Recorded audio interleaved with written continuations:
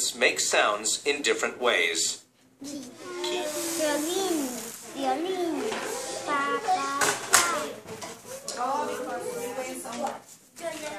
Today we're going to learn something very exciting using this tablet which is called an iPad. I am very happy to show you guys. Yo tan feliz de enseñarles a ustedes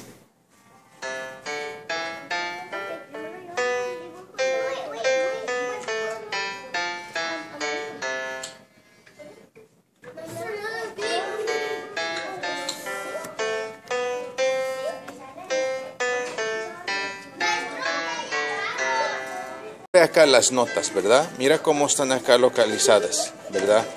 Uno, dos, tres, cuatro, cinco y cinco.